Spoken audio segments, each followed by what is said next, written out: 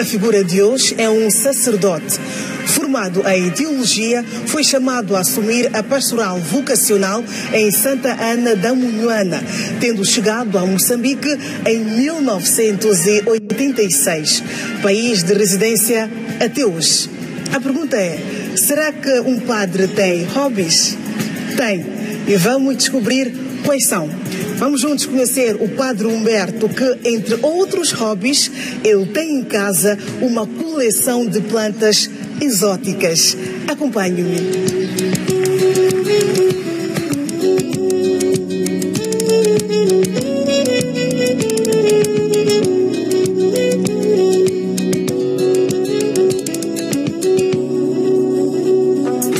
Aqui está ele. Boas-vindas!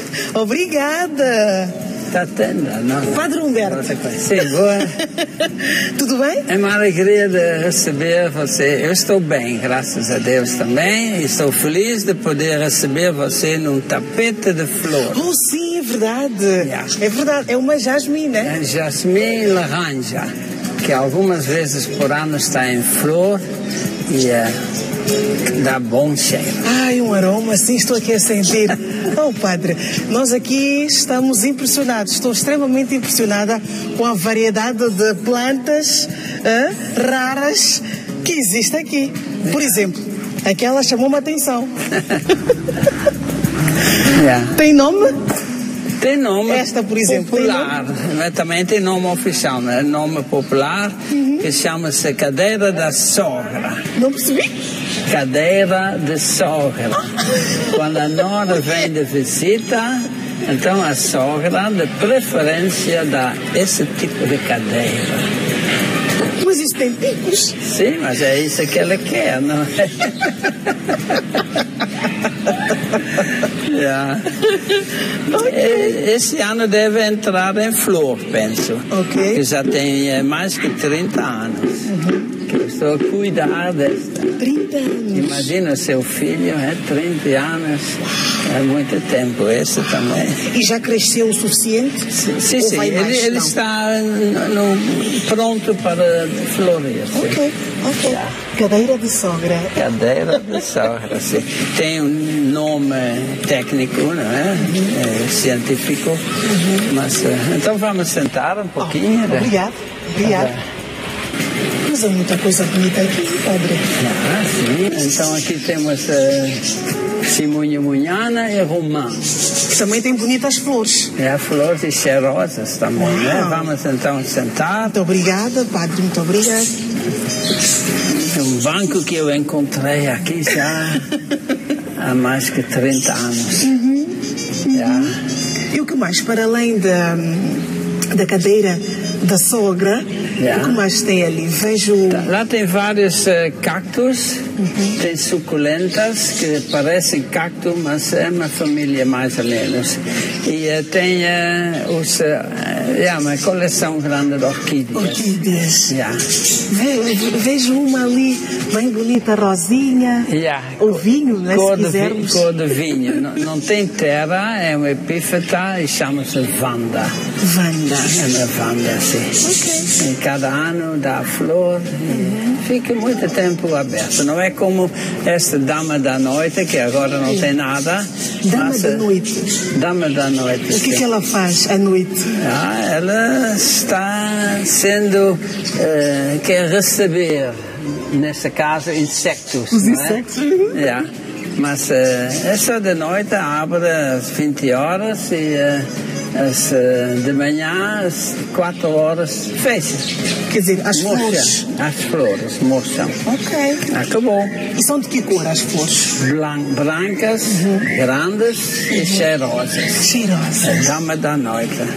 Uau. Yeah. Aqui ainda temos também, está lá a ver, não, não está a rainha da noite. Ela cheira toda noite. A flor parece nada, mas toda noite é cheirosa, um perfume grande. A distância é, Existe que um encanto mais. de perfumes aqui em casa. Sim, o eu- quintal fica todo Yeah. aromatizado. Sim, sim, porque temos ainda outro que chama-se popularmente ontem, hoje e amanhã. E dá um cheiro muito saboroso uhum, também. Uhum. E quem é responsável por esta uh, estrutura botânica que tem aqui? Quem pensa nisto? Yeah, eu é que controlo tudo e eu planto e sou um pouco arquiteto desta horta, não é? Eu vejo que essa precisa água, essa está muito próxima da outra que não tem luz, temos que tirar uma, temos que fazer uma opção, uhum. não é? É preciso cuidar. Sim, sim, cuidar, ver as coisas. Eu sempre digo ver e ligar. Este ligar é brasileiro, que quer dizer, você tem que ver que não tem água, então uhum. você tem que ligar a responsabilidade e dar água. Uhum. É, assumir. Exato, é. exato. Este gosto, padre, pela, pela botânica vem desde miúdo. Yeah, de facto, meu pai já tinha também flores, além de ser uh, cabeleireiro, uhum. tinha flores, uh, trabalhava com seus irmãos uh, numa floricultura de roseiras. Uhum. Então, essas roseiras tinham um tratamento para se dar bom, boa produção, não é? Uhum. E mais tarde eu, ainda miúdo também, eh, ajudava eh, no meio destas eh, campas cheios de rosas, roseiras, então eu ajudava também a enxertar. Yeah. Então essa era de joelhos, porque eram plantas pequenas, então de joelhos, trabalhar Uhum. E depois, eh, quando eu passei uns anos por Brasil, Exato. então é, é, aprendi a ser é, orquidófilo. Orquidófilo, quer dizer, é, cultivador de orquídeas. orquídeas. Uhum. Então tem aqui. E aqui há várias uh, uh, espécies, né? Yeah. Variedades de, de, E lá também comecei de novo com uh, cactos. Ok. Os cactos podemos lá ver também, é uma, é uma beleza. Né? Uhum. Faz, nos fala de Deus, né? da criação. De... Eu pergunto, quem é que fez o desenho? Quem fez o desenho daquela cadeira de sogra? É porque alguém tem que fazer, não é? É verdade. é verdade. O padre um, Humberto nasceu em Holanda. É, sim. Uh, em 1942. Exatamente. Durante a, segura, a Segunda Guerra Mundial. Certo. Eu pergunto, que memórias uh, tem da guerra ou do cenário yeah. da guerra. Lembra-se de alguma coisa? Sim, me lembro. Mesmo como miúdo de dois anos, eu me lembro que o céu estava cheia de, cheio de, de aviões dos uh, ingleses a caminho da Alemanha para bombardear a indústria alemã. Me lembro. Também me lembro que quando houve perigo, nós íamos para o nosso vizinho, tio, por acaso, eh, e ficávamos na cava. Nossas casas tinham uma cava. Sim, sim. Também na nossa casa tinha uma cava. E eh, por acaso caiu lá uma granada que abriu eh, a parede lá. Eh, e também quando os ingleses vieram eh, atacar os alemães, então nós fomos avisados. Lá na nossa aldeia tinha uma torre, então os, eh, podia haver lá eh, espiões, não é? Sim, Onde sim. é que estão os ingleses? Estão perto. Então eh, houve perigo. Então nós tínhamos que ir mais para o interior e lá ficamos lá numa casa da agricultura. Uhum. Me lembro. Uhum. E quando houve tempo de dar comida, nós eh, crianças ficávamos sempre por último. Também me lembro. Padre. Yeah. E nasce um, numa família católica. Muito católica, sim. O que é que aprendeu? Uh, quer que ensinamentos guarda, quer um, da família, quer também da religião. Sim. Bem, da religião eh, recebi praticamente eh, a, a profissão que eu tenho, que é ser missionário católico, não é? eh, toda esta atividade religiosa, com culto, com a, a, a experiência da comunidade. Íamos todos os dias à igreja, uhum. todos os dias, aos domingos duas vezes, e uh, então uh, lá aprendemos solidariedade, uh, aprendemos respeitar as pessoas, uh, a viver a paz. Exatamente. Quer dizer, tem todo uma, um leque de, de valores uh, humanos cristãos, não é? Uhum. Uh, que aprendi e dos, da minha família. Yeah. Família, família. O Padre Humberto é, é o filho mais velho, é o primogênito. Eu sou primogênito. Muita responsabilidade. Não tanto. É, com 12 anos eu fui para o seminário. Okay. Então a família ficou lá e eu fui para o seminário. Mas lá aprende-se também a responsabilidade, não é? Uhum. é? Para mim foi muito importante rezar juntos em casa e rezar também, é, é, assim, estar juntos na mesa. Uhum. Juntos na mesa, não tinha televisão ainda, então estávamos todos na mesma hora em volta da mesa. Uhum. Foi, yeah, é, é positivo, é um valor não é? Bons momentos. Porque nós conhecemos uh, situações, hoje em dia também, cada um no seu campinho, uh, olhando a televisão, olhando o celular, etc. Né? Uhum. Lá não era assim, né? era em volta da mesa, rezávamos antes da refeição, da refeição. e depois da refeição. São coisas que a gente aprendeu e me, me fez bem. E tinha mesmo de se seguir. Todo mundo devia passar a refeição juntos? Yeah, eu tinha a sorte, meu pai era, portanto, cabeleireiro, uhum. então, meio-dia, ele eh, podia se livrar da, da, sua profissão para estar conosco. Ele não estava numa empresa ou no escritório lá longe, eh, estava ausente da casa, não. Em casa, ele estava em casa a trabalhar. Uhum. Então ele deu para nós todos tomar a refeição ao mesmo tempo. Que bom. E um, Padre Humberto, em que momento descobre a sua vocação? Esse foi quando eu tinha uns 11, 12 anos. Eh, era acólito, portanto, ministro para servir no altar, ajudar o padre trazer o pão e o vinho, eh, levar o livro, eh, usar o incenso, etc. Não é?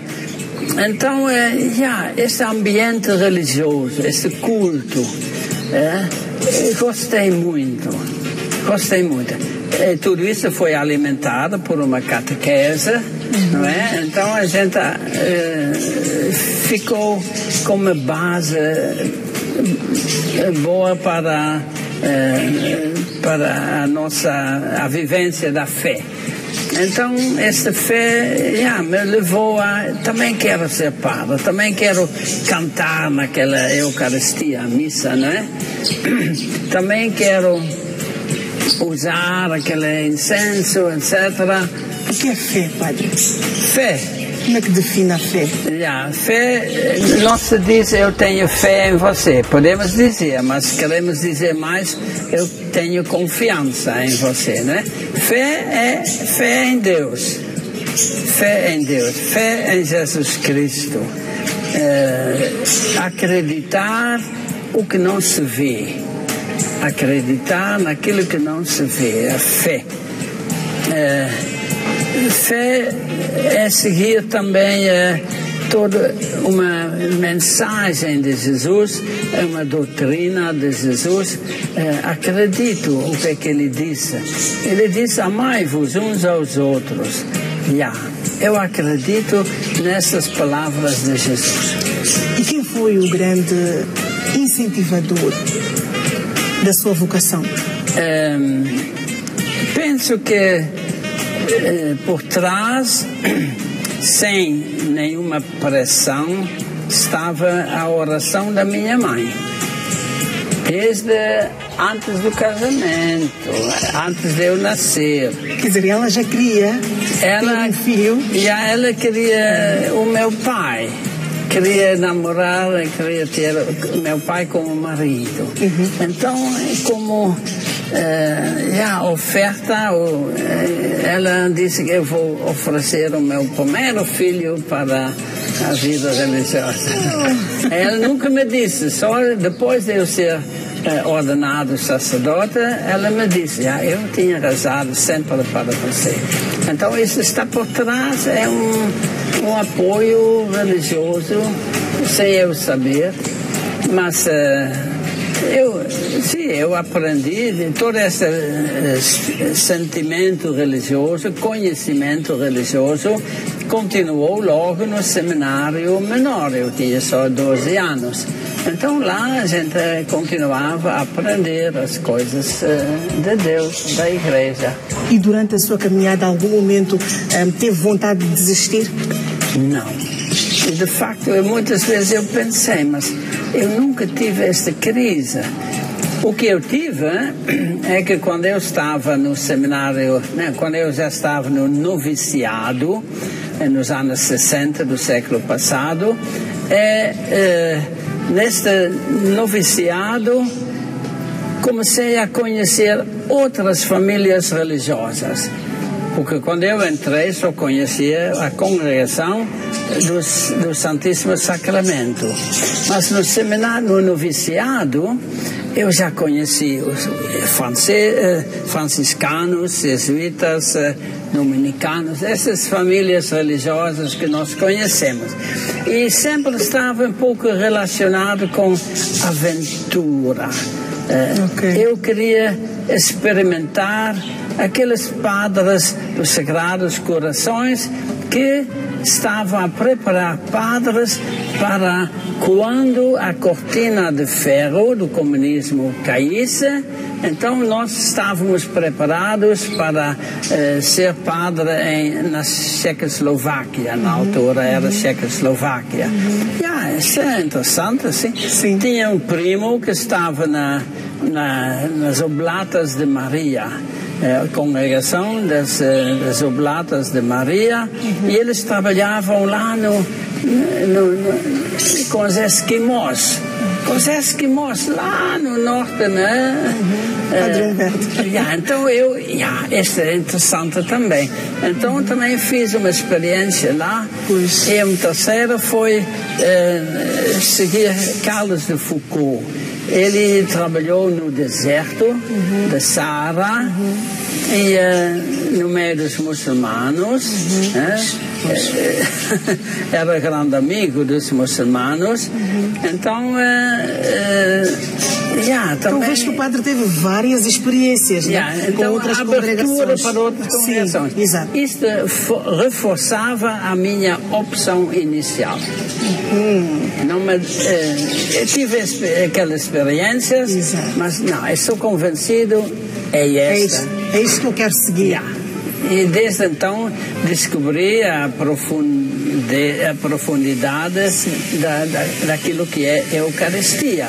Assim como nós queremos descobrir mais hobbies, sabemos que o padre não gosta apenas de plantas, aprecia também arte. Sim, sim. E tem quadros, uma coleção de quadros. Sim, sim, arte e começou cedo, sim. Podemos conhecer? Sim, podemos. Por favor. Então, era. Eu, quando era miúdo, eu ia buscar na casa da minha vovó uhum. aqueles aros de onde se coloca as fotos. Exato.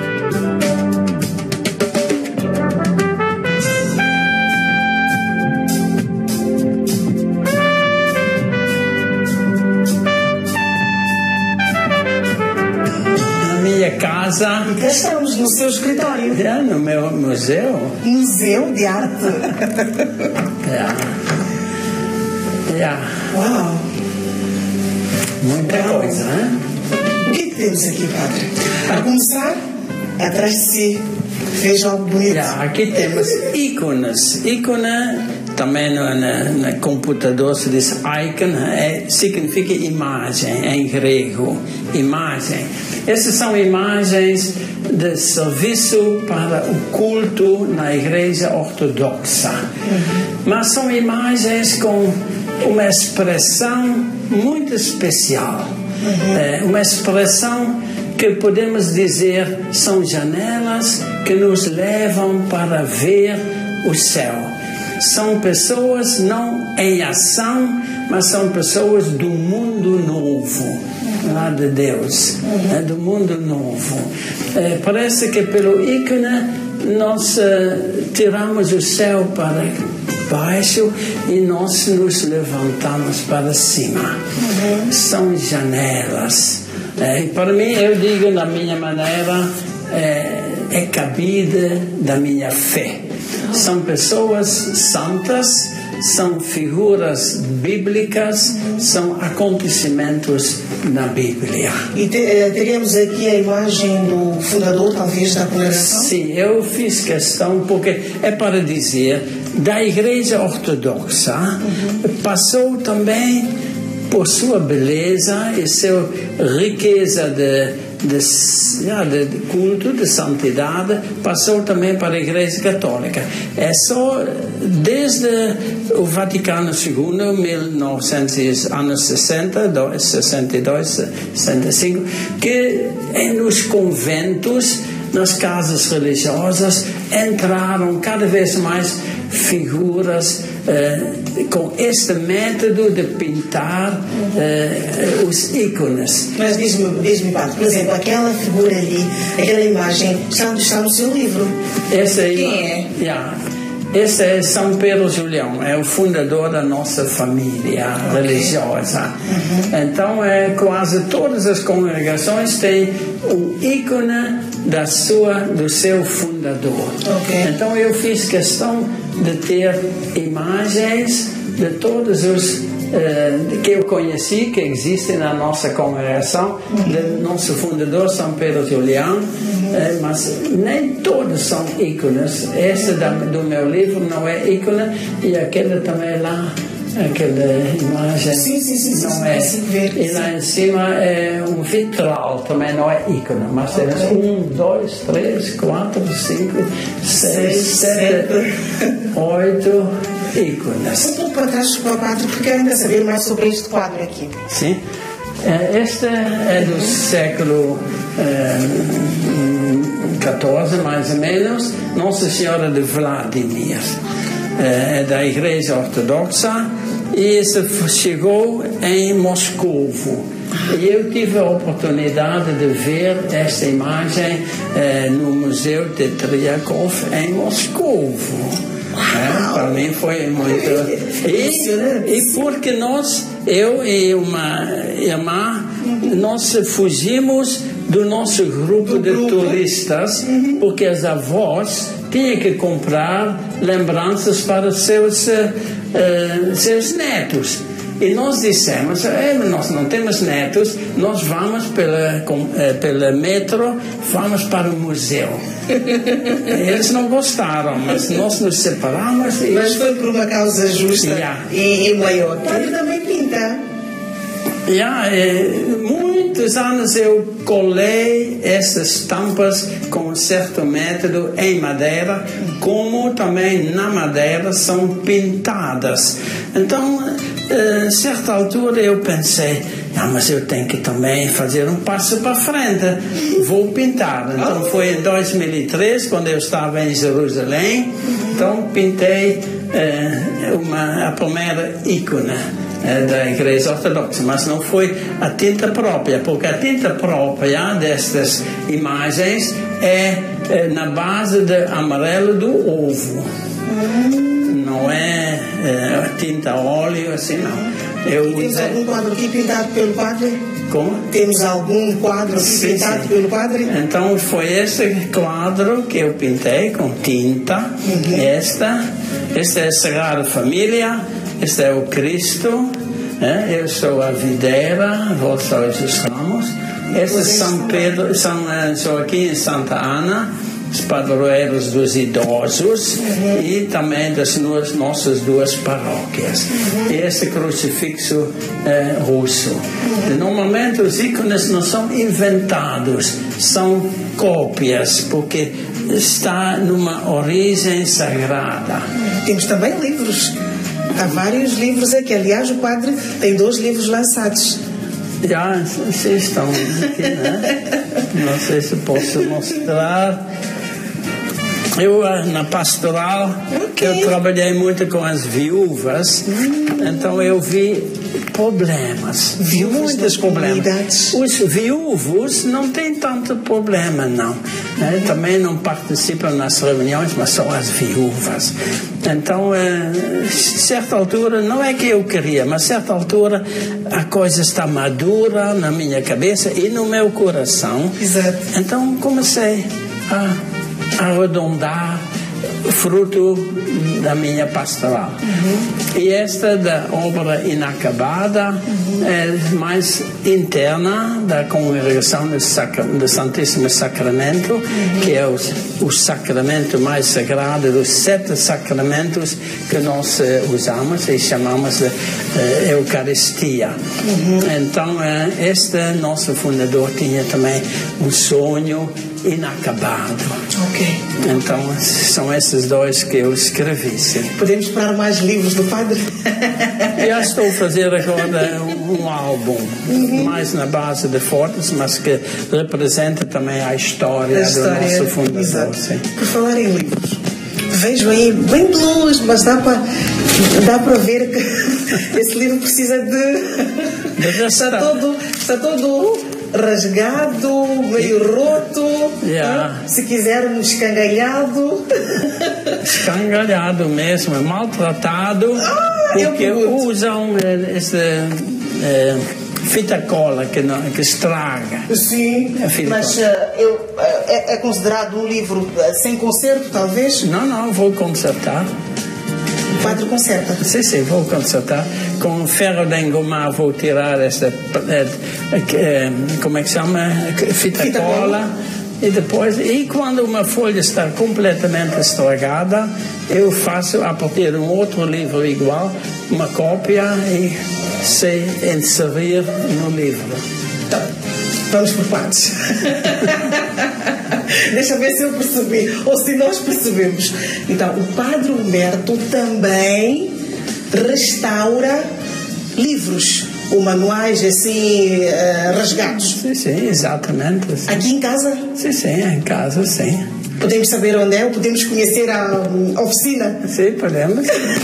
Sério? E na oficina é que também fazemos esses quadros. Uh, coladas, não é? É método especial. Uhum. Madeira, um jornal, é cola é, ruda, é cola é, antiga cola dos carpinteiros. Uhum. É. Já estou curiosa. É. Vamos lá, vamos lá uh, conhecer a oficina, mas não agora. Logo após uma curta pausa, o Falar de Mim já volta com muito mais conteúdo interessante para si. Até já. De volta ao falar de mim, conosco está o sacerdote Humberto, missionário em Moçambique desde 1986. De lá para cá, tem desenvolvido vários projetos que impactam direta e positivamente na vida de pessoas desfavorecidas. Sem mais delongas, vamos lá conhecer a oficina onde o Padre Humberto restaura os livros não é isso, padre? É isso mesmo. vamos? Sim, vamos. Por aqui?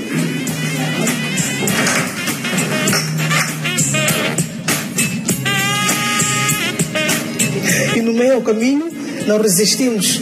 Paramos aqui para ver os cactos.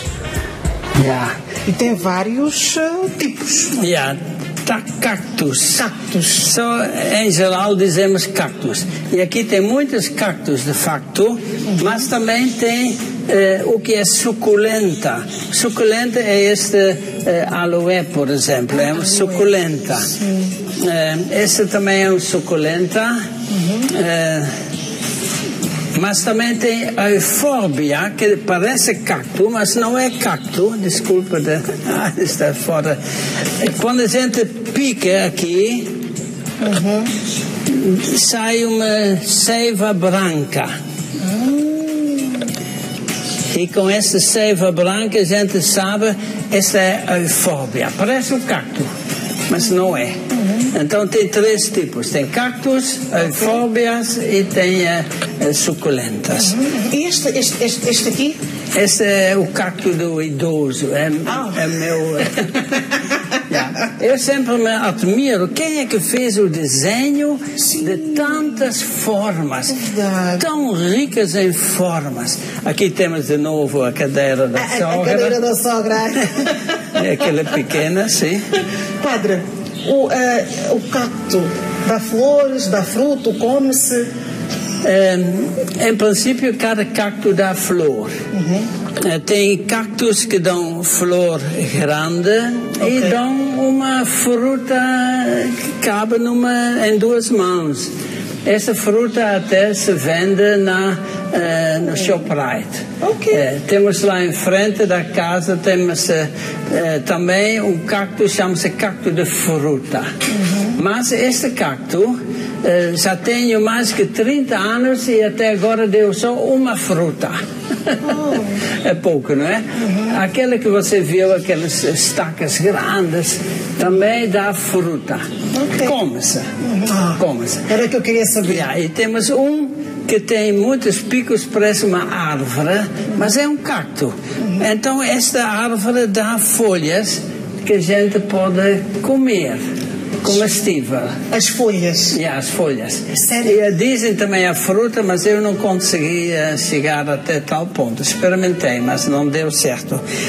Agora, as folhas uh, pode-se comer. E alguém me disse logo no início, não, este é venenoso, venenoso. E outro técnico da agricultura, ele diz, não, esse é um cacto, pode-se comer. Então eu tinha que escolher, não é? Vou acreditar num ou vou acreditar na outra? Provou? Ah, eu vou experimentar. ah, são essas folhas? São essas folhas, sim.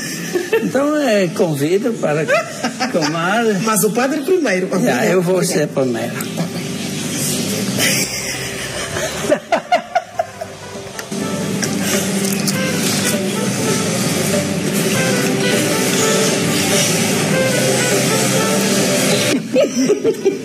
padre. Pronto. É uma salada. Sim, é uma salada, mas sem. Uh, não temperada. Tem, não tem, é, é, temperada, sim. Pronto. Não é venenosa. Aprovado. Padre, vamos lá à oficina, vamos yeah. à oficina. Mas é interessante tantas formas. Hein? Sim, sim, sim.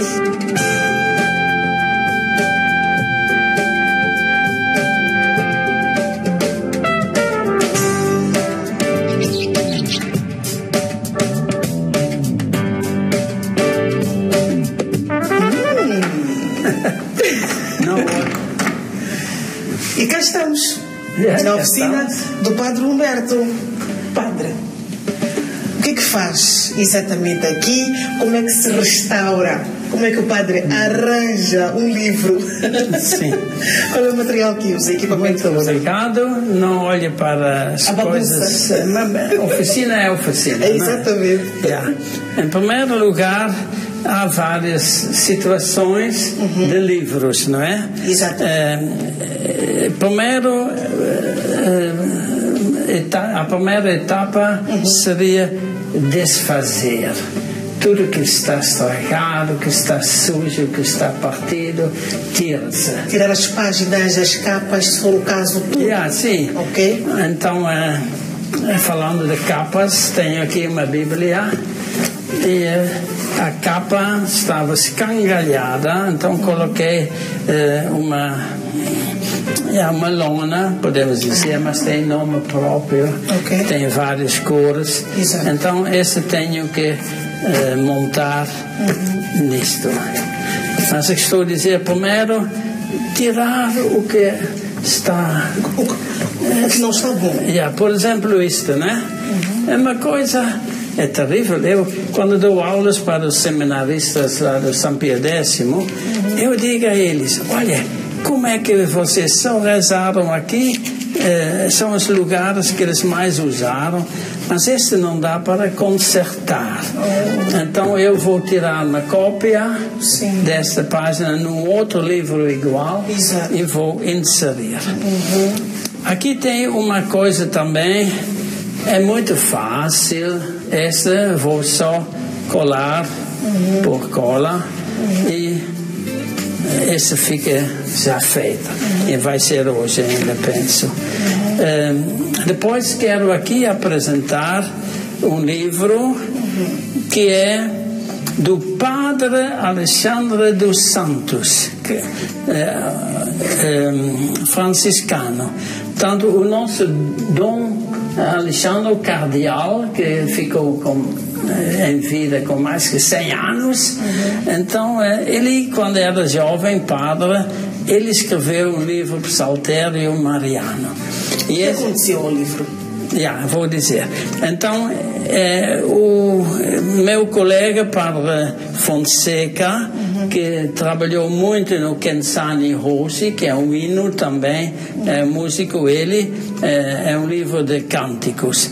Então, esse pertencia a ele, mas ele já faleceu. Então, este livro, eu coloquei eh, um reforço por dentro, uhum. né? chama-se contracapa, vou mostrar depois.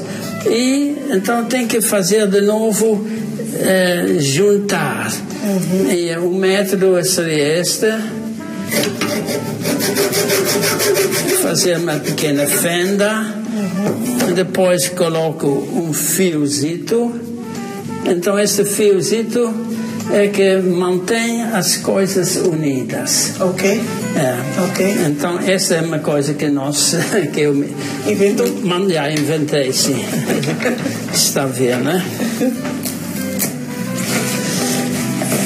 Então tem este reforço okay. porque não queria tirar esse texto. Exato. E depois vou cortar aqui, mandar cortar, eu não tenho a máquina. Uhum. E quanto tempo leva mais ou menos este, este processo, este trabalho?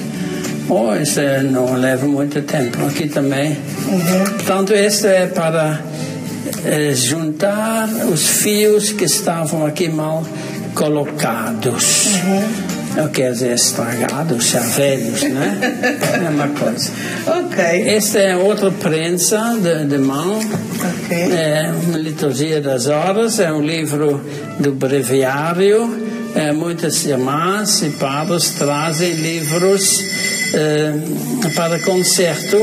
Então, para este, eu também tenho que fazer uma capa. Ok. Então, fica aqui uma coisa dobrada contra a capa para reforçar Exato. e depois eh, também posso mandar eh, fazer eh, colocar letras douradas uhum, uhum. é isto uhum. este já vimos sim esta já. capa já está é só para uhum. colar temos esta aqui yeah, esta já é costurar é, cada livro tem cadernos esse caderno tem 18 páginas. A gente procura o centro e depois, é, com fio e agulha, a gente enfia aqui, sai aqui e depois esta fita fica por fora presa.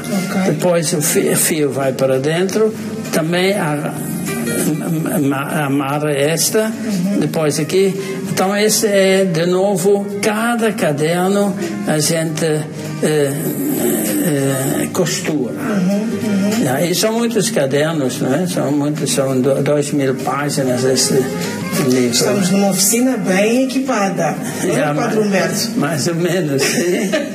então, Padre Humberto é... está, está em Moçambique há um bom par de anos. Sim. Em 1986. Certo.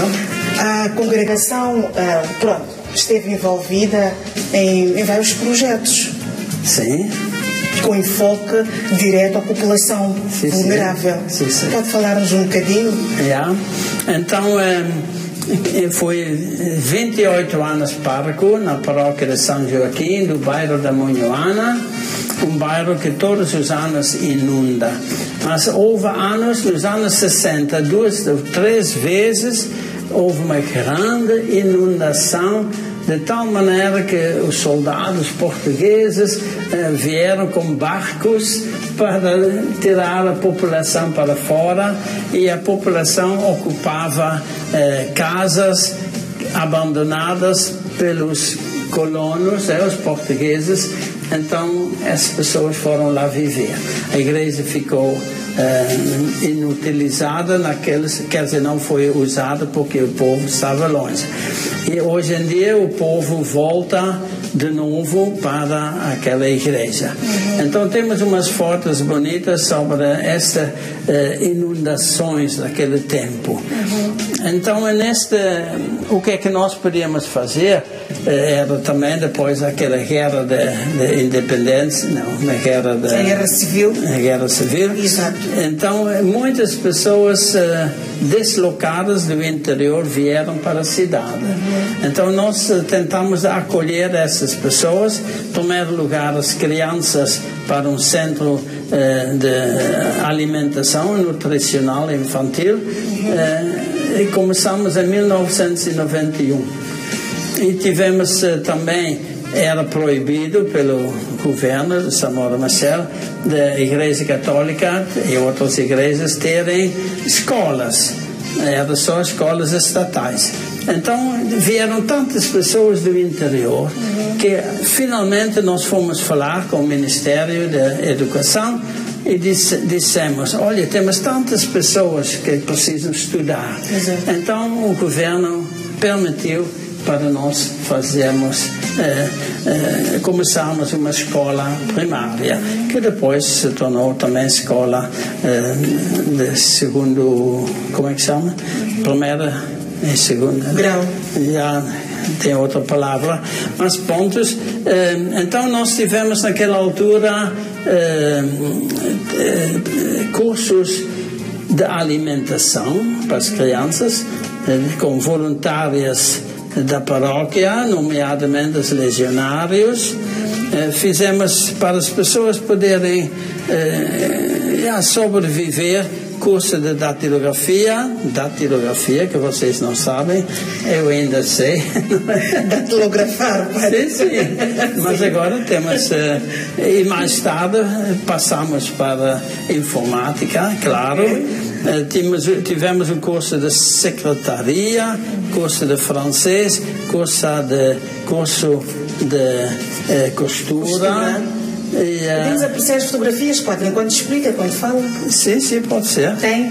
Sim, tem retratos? Tem retratos, sim, tem. Um, está aqui o um álbum. Uhum. Uhum. Um. Então, os cursos variavam? Yeah, tudo que era eh, de preferência para o povo, não é? Uhum. Para os jovens, principalmente.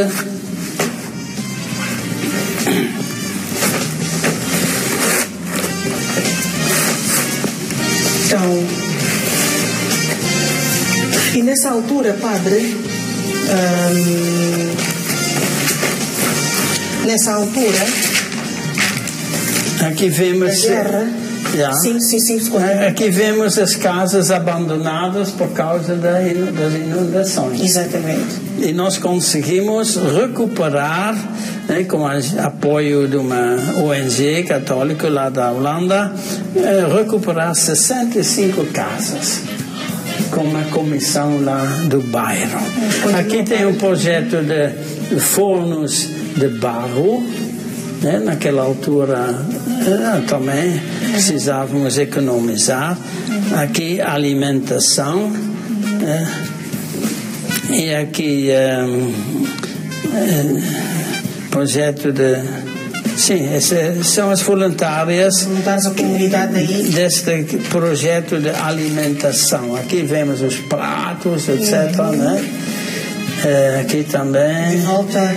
E aqui as grandes panelas. pessoas, sim. É, com sim. cacana e outras coisas. Outros pratos típicos. Padre, como é que olha para as outras congregações? Para as outras religiões? Outras religiões? Uhum. Ah, eu sou muito curioso e sempre gostei de saber. Quando eu em, em Lisboa estava preparada a pregação no sábado à tarde, assim, eu ligava a rádio com um programa de Marrocos dos, Oh, dos muçulmanos. Então eu gostava de escutar, não entendia, mas mais tarde fiz um curso né, de, de, de língua árabe Ok. e fizemos uma visita a Marrocos, porque é perto, né? Sim, sim. Então, é- eu gosto de conhecer e apreciar, sim. Mas não gosto a agressividade do outro lado, né? Sim, temos que Sim. em diálogo. Sim. E, eh, eu, eu gosto muito da, do culto, né? Eh, como eu já falei e mostrei nos ícones, eh, o culto dos, dos eh, ortodoxos, da igreja ortodoxa. E temos aqui uma igreja ortodoxa, que tá, nem todos sabem. Mas essa, eu gosto muito da música, gosto muito da- do- dos ritos, de- do culto. Então, a igreja Maná e eh, Exército de Salvação e eh, outras, eh, Testemunho de Jeová, eh, tem quase paredes eh, vazias, não é? Não tem nada de, de culto, de, de beleza, de arte, etc. Né? Então, eu encontrei muito a beleza eh, e a arte na igreja ortodoxa e na igreja católica. Aqui tem o curso de Costura. costura. E a coisa. Esse já morreu, esse já morreu, esse ainda não morreu. É o Padre Humberto. é o Padre Humberto. Padre, eh, até que ponto, eh, pronto, na sua opinião, a, a Igreja constitui uma, uma peça-chave, não é? Um caminho para, para o sucesso e também pacificação de um país, de uma nação? Qual é o papel da Igreja? Yeah, eu penso, o papel da igreja é aquilo que o Senhor Jesus nos ensinou. E o que é que ele ensinou? Ensinou o amor, ensinou a paz, o perdão, eh, a partilha. Então, o que quer mais? Se nós cumprimos este programa de Jesus, e a igreja procura ser seguidora de Jesus, então contribuímos bem para um país em paz. Estes valores que acabou de mencionar, quando olha para a nossa sociedade, por exemplo, encontra Bem, ah, eu eh, admiro eh, a atividade de muitas eh, organizações internacionais. Né? Tem a Unicef, tem eh, eh, em favor das crianças, em favor de, eh, da alimentação, né? Muito, eh, orga- a organização, the World Health Organization, e vendo já, o que eles estão a fazer, muitas organizações internacionais estão a cumprir o programa de Jesus. trazendo hoje hum, a Igreja Católica nos dias de hoje, Padre. hum, que comentário pode fazer, por exemplo, à volta ah, dos escândalos que a, gente, que a gente ouve à volta dos ah, sacerdotes? Já. Sim, agora está a colocar muito estreitinho, né? É, Deus é que criou homem e mulher. Atrai a mulher, a mulher atrai o homem, não é? Então é natural que aqui haja, às vezes, coisas que seus pais não vão gostar, por exemplo, né?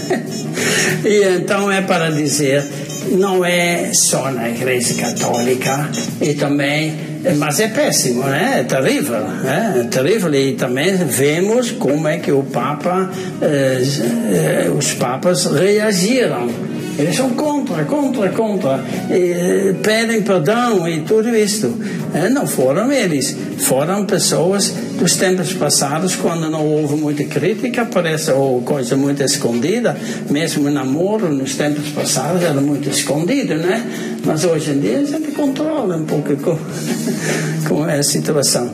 Portanto, é, é para condenar fortemente, é para dizer que em todos os níveis, é, alguns podem esconder, mas em todos os níveis existe isto. Uhum. É, e é, então aqui devemos trabalhar muito para evitar essas é, crueldades, é, cru, são crueldades que aconteceram e, e que não vão acabar hoje não vão acabar hoje. Não é só os sacerdotes. Né? Mas eh, sacerdote, ah, ele está um pouco eh, no centro, então logo, ah, é o sacerdote. Uma vez no, eh, eh no tribunal, ah, você também? Eh, mas como? O que é que eu fiz? Eh, ele não sabia, o juiz não sabia nada, mas logo fui condenado, porque sou padre, deve ter sido isto também. Não, isso é feio, não é? Um, Padre Humberto tem, tem amigos, um, vem de uma família.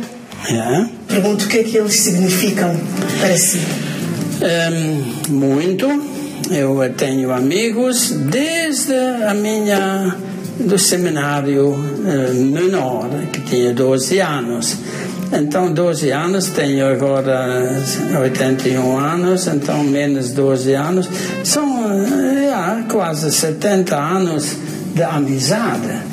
E eu ainda ter amizade com essas pessoas até agora.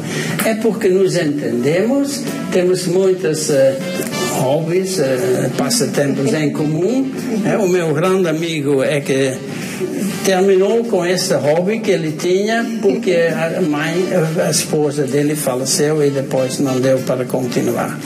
Mas uh, eu tenho muitos amigos estou a sentir, em medida que a gente se torna mais velho, vamos perder os amigos. Muitos vão morrer. Uh, mas eles, uh, o meu diálogo mais profundo não é WhatsApp eh, duas palavras e uma foto da criança, um desenho de uma criancinha, assim, para dizer parabéns.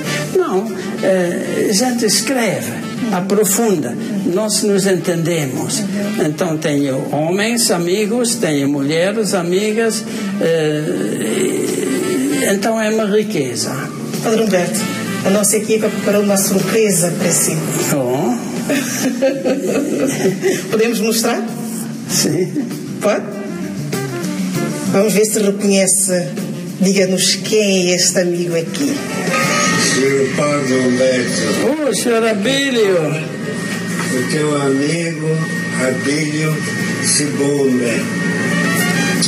Agradeço a STV por ter concedido este pequeno espaço de tempo para falar deste querido amigo. Não é muito fácil falar de ti, pois somos amigos através da congregação dos padres sacramentinos da Minuano.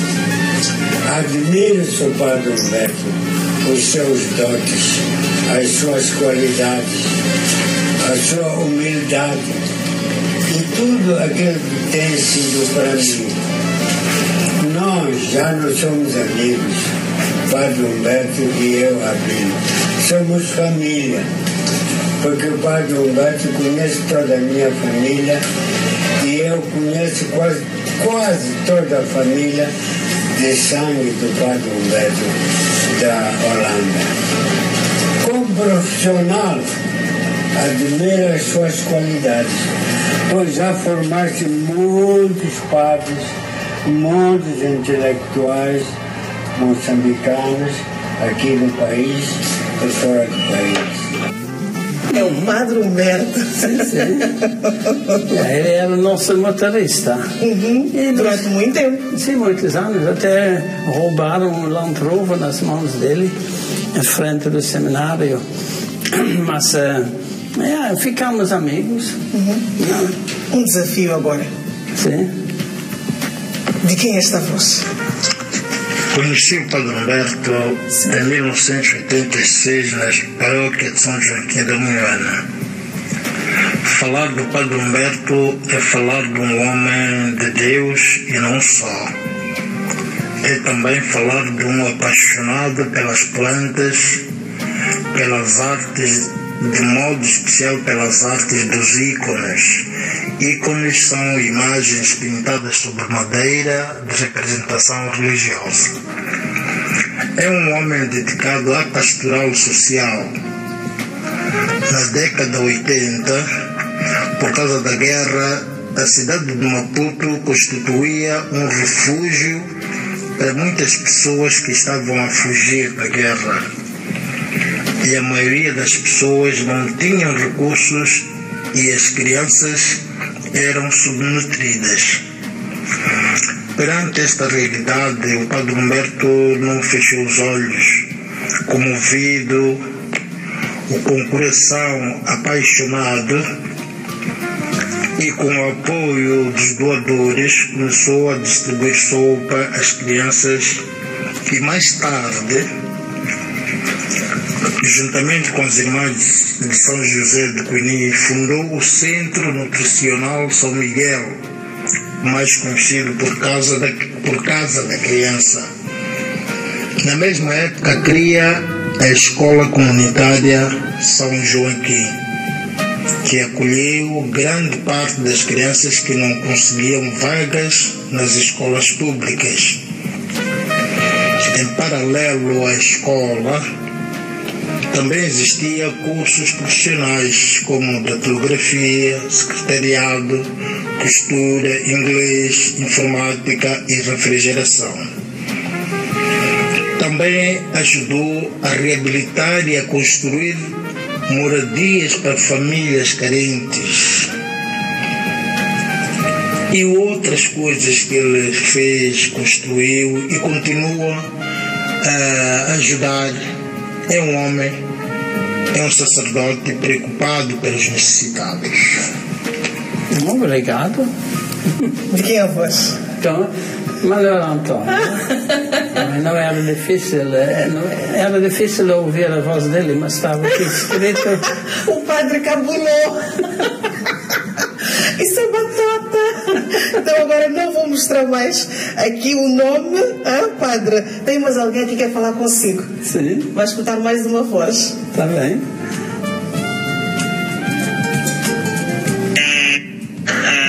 E falando do, do, do senhor Padre Humberto, é, é, muito difícil. É muito difícil porque ele é um, é um ídolo católico.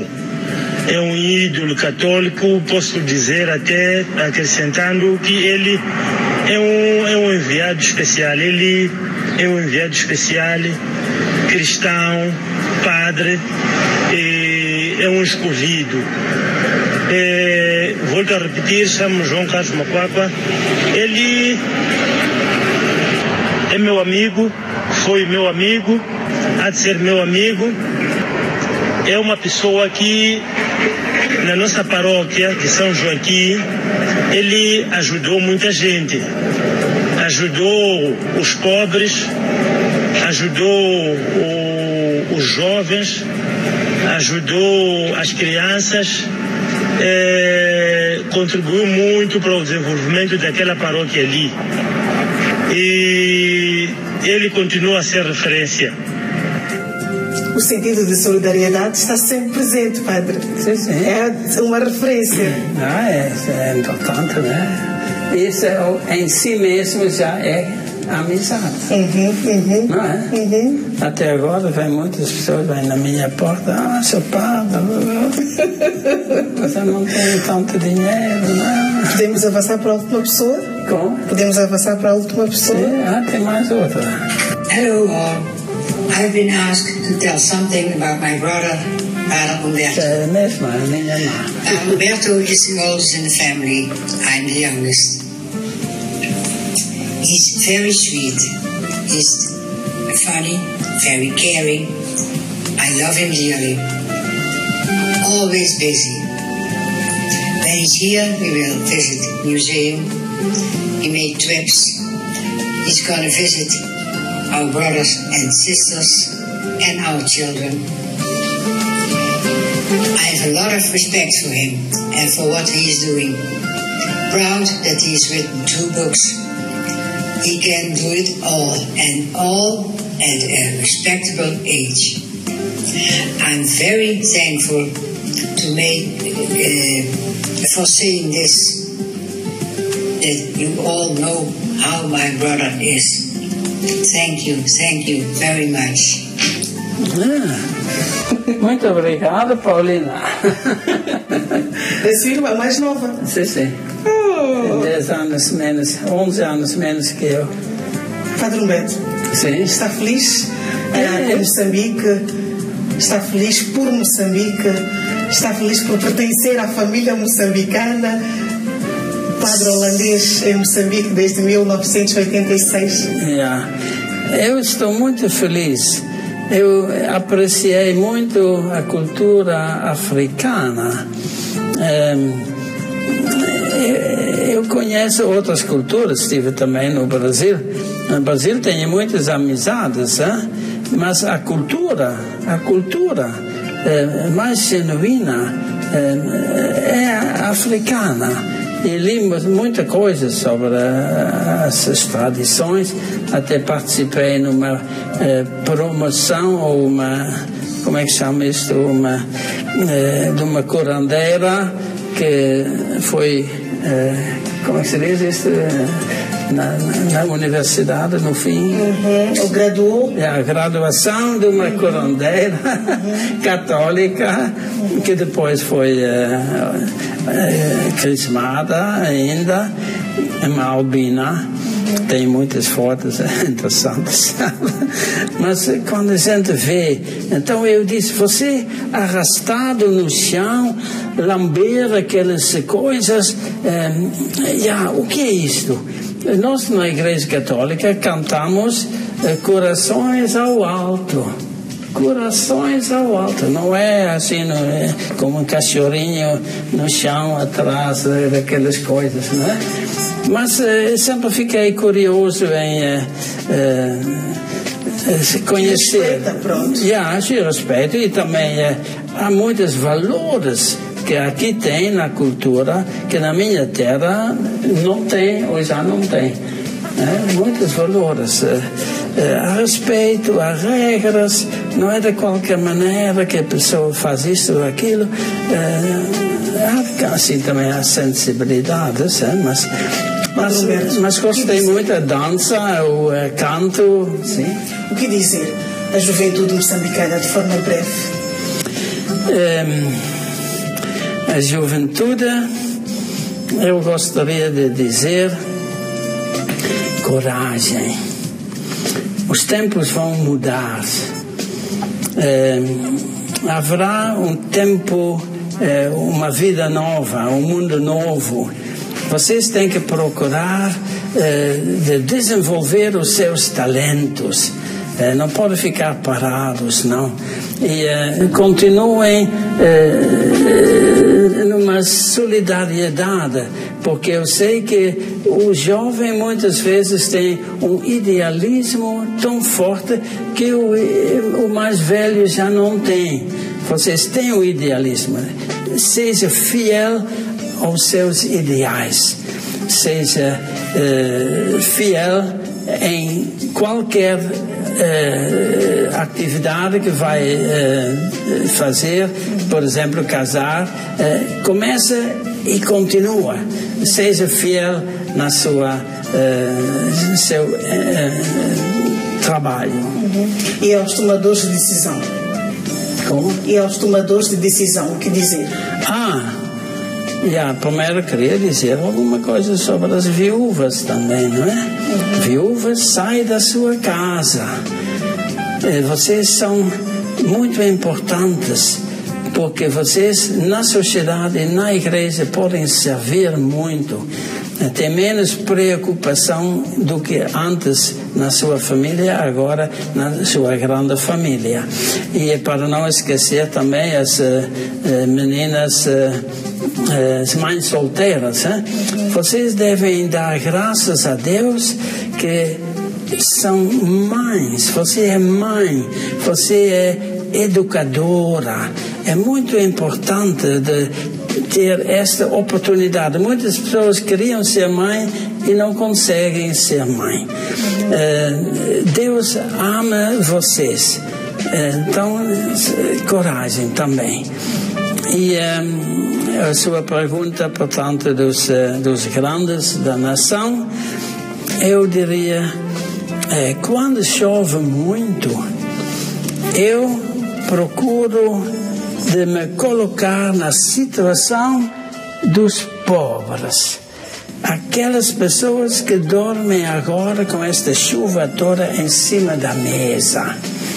É, sempre isso deve ser o critério para os que tomem decisões.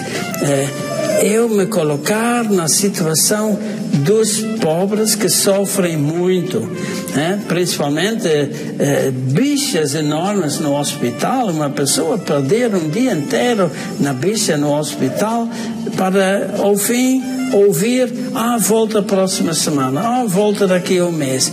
Não, essas pessoas eh, perdem muito dinheiro em transporte, não trabalham, eh, não ganham então, essas pessoas devem estar no nosso coração. É o servir dos que mais precisam. Nós temos uma vida boa, mesmo eh, nem precisamos estar na bicha dos bancos.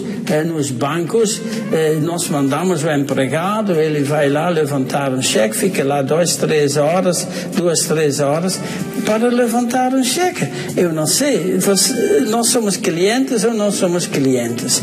Né? E no banco não tem cara, não tem rosto.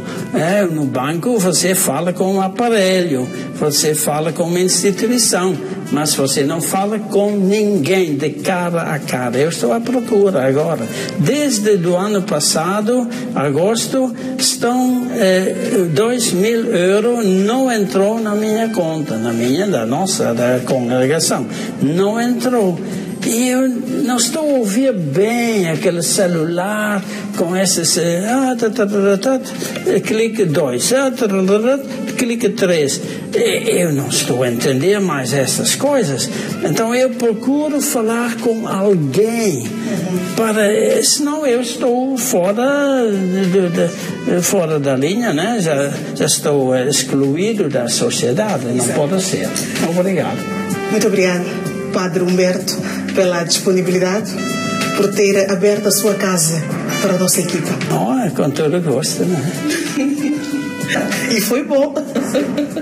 Obrigado igualmente a si que nos acompanhou. O Falar de Mim fica por aqui numa edição em que dedicamos a vida e obra de Padre Humberto. Voltamos sábado que vem com outro convidado. Até para a semana.